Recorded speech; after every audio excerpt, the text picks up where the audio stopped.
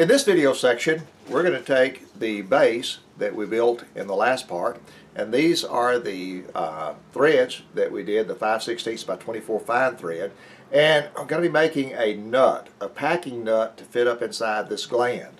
Here's the plans for the packing nut, and the packing nut plan is up here, and here's a more simplified version of what we're doing.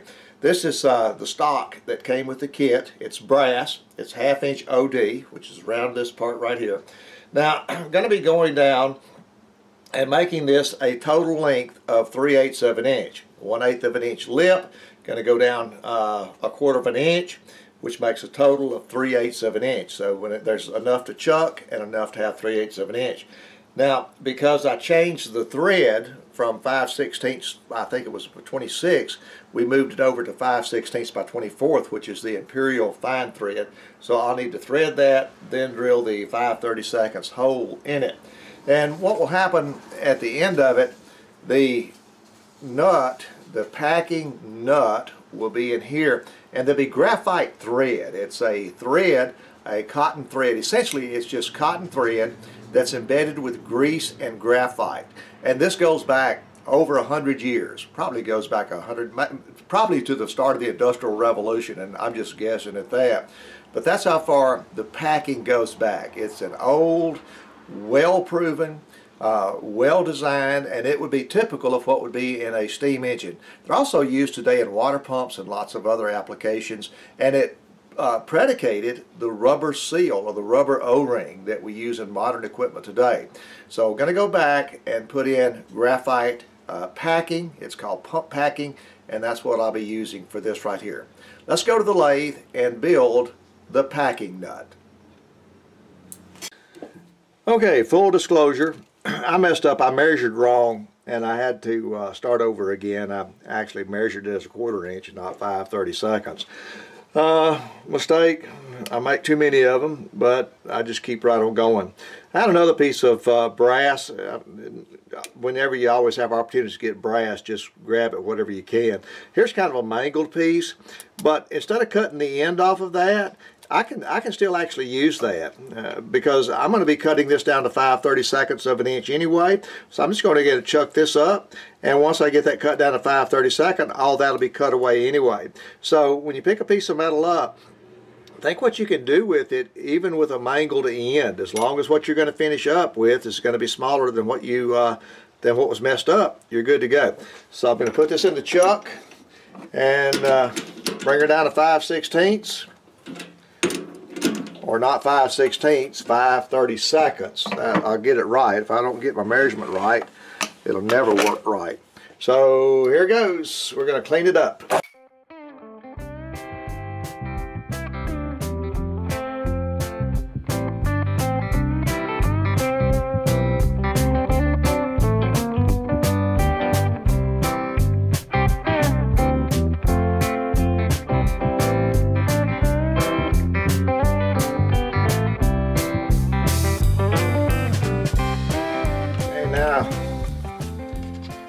Get the tap and get this thing tapped or get the die and get it threaded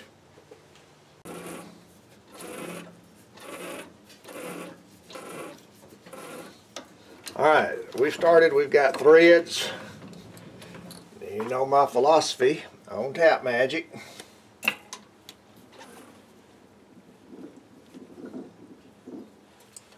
Well, that's a pretty thread. Pretty thread.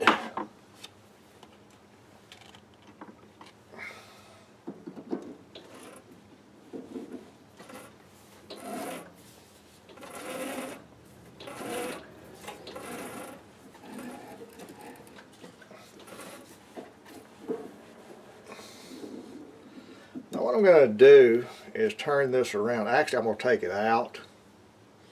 Since that's not much thread, I'm going to actually turn that around a little bit, run that up again a little, little closer to the shoulder. Because as you know, one side of the tap is tapered so you can start to thread. If I turn it around just a little bit, I can get it cut all the way up to the shoulder. I don't think I'm going to need it because I've got that packing rope that's going to be in there. But since I've got it in the chuck, might as well go ahead and do it the best I'm going to do here. And I'm just going to run that up there a couple of times.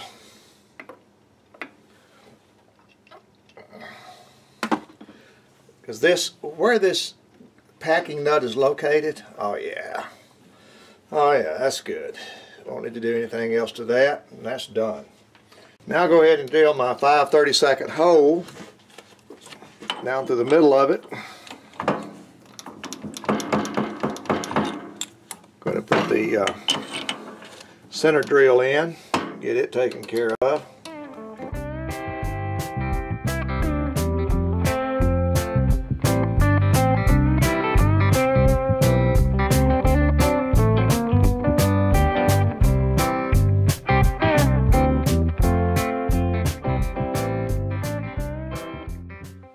Looks good.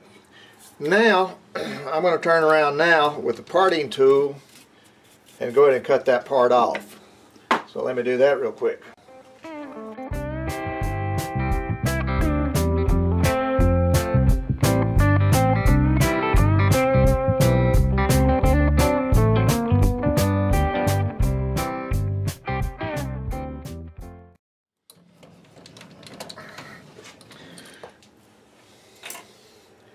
There's the, uh, got that little hangover I call it.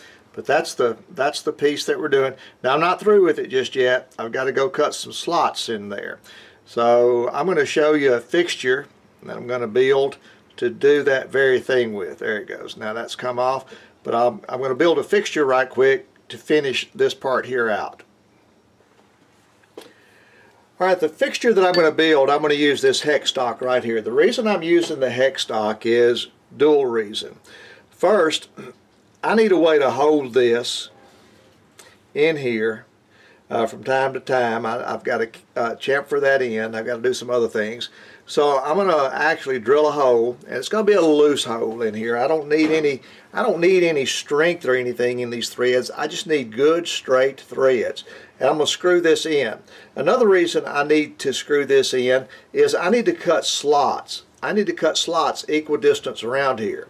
So what I'm going to do is I'm going to use this hex key uh, as my or, this uh, hex stock as my fixture to move around in the milling machine. All I have to do is just turn it over, turn it over, turn it over, turn it over, turn it over, and I do that uh, as many times as I have sides, and then I get equidistant cuts across here. The reason these slots are here is you can't fit a wrench up inside the steam engine uh, column. So what you do is you adjust this packing nut with a screwdriver. So I'll put a slot for a screwdriver and then you can just move it around in there as you need to.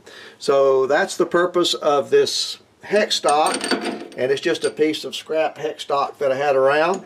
So now it's drill a hole for a 5 16 by 24 fine thread tap, tap it out and then my fixture is made.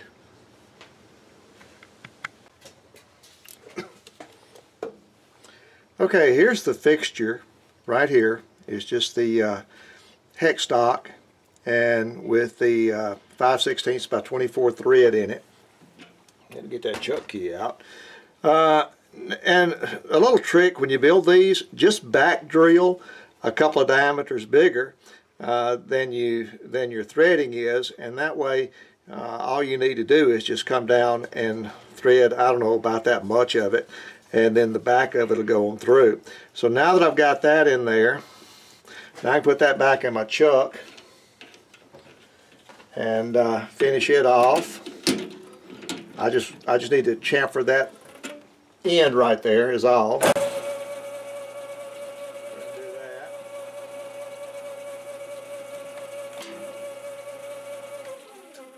We got that done.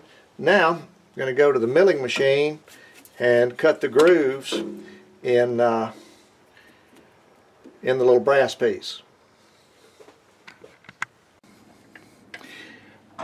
Alright, what I have is I've gone to the mill here, or the mill drill, and I've just got some spacers in there, some key stock, and I'm going to take the hex stock, drop it right in there, that'll be my register so that I can get my slots equally spaced all the way around.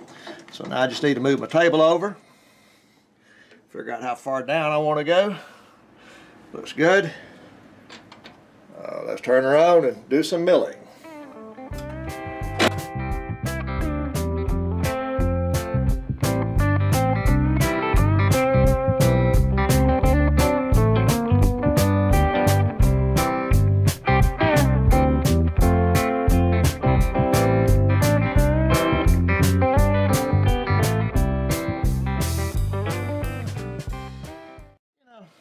I think I have ruined that part. We won't take but a minute.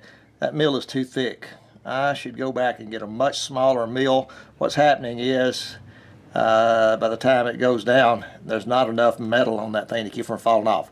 Back to the milling machine, uh, to the lathe. I'm going to make another one of those. I'll be back here in just about 10 minutes. Well, you'll see it in three, two, and one. You're back.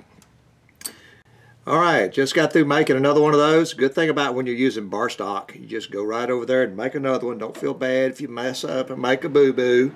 Uh, it's going to be part of the game. It took about maybe 10 minutes, maybe.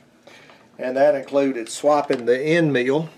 And what I've done now is gone to a 1 16th of an inch end mill to put my slots in. And uh, it'll work fine. The only thing is you have to be just real careful with an end mill that small because they will break. I've done it before. All right, let's get to work.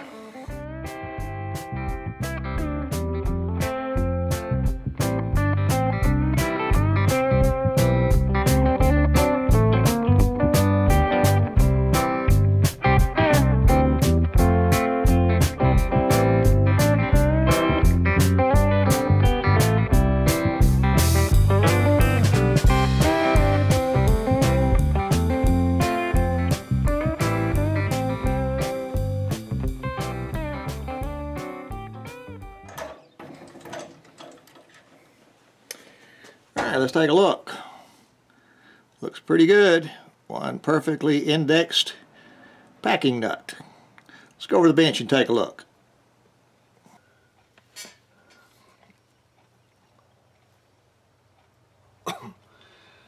Alright, just unscrew off of our fixture. Now remember from one of the videos I had about shop talk, never throw things like that away. Uh, I might need to index something else with 5 16 fine thread on it. So I've already got that made. So there is the packing gland nut. Let me see over here and get the packing gland. I'll put it in and try it and see if it fits, which should fit all right. And it fits really good. So got that in there. Put it through here See how that goes in there. Now, here's what you do. You see you take your screwdriver and that's how you tighten up the packing. Here's what that packing looks like, by the way. I'll show it to you. this is pump packing. I don't know how old this roll is. This roll is probably approaching, I'm, I'm 64. I was a young man when my dad bought this at a hardware store over in North Louisiana. I would say that this is about maybe 50, 55 years old. And as you can see, he used it for packing pumps. Uh, at one time, water pumps had to be packed like this and farm equipment had to be packed like this. So he packed some tractor water pumps with it. Um, he built a lot of, uh, did a lot of hit and miss engine work. So, and of course it's kind of unraveled a little bit. Of course when it's new it was a little bit tighter than that. But, you know, six inches of this stuff right here will last forever or it lasts you a long time. And what it does, it just, it, it's like a rope. It just continually unravels. Uh, now each one of these also has three strands in it and it, it just keeps on unraveling. What this is, it's cotton rope with graphite and grease in it is what it is. And that's what I'll actually, uh, that's what real steam engines were packed with. And that's what this will be packed with. Of course, it won't be very much, but I'll just put just a little bit right down in there, wrap it around the connecting rod or, or the uh, piston rod, and that goes in there and the tighter that you tighten that the more it squeezes in on that uh, uh, piston rod. So that's where we are. Uh, back in business. If you have any questions, be sure to shoot me an email, johnrob281. Remember, it may take a week or so to get back to you, but I will uh, get back to you. And uh, please consider a thumbs up, and don't forget to subscribe. I'll see you on the next video. Well, you saw me do it again. I did my math wrong. And I cut it at the wrong place. I cut it for a quarter inch. What did I do that for? 5 sixteenths. Oh crap. In this section, we're going to be taking the base that was built in the last video section and now uh, we're going to be using, uh, or actually, two, take two,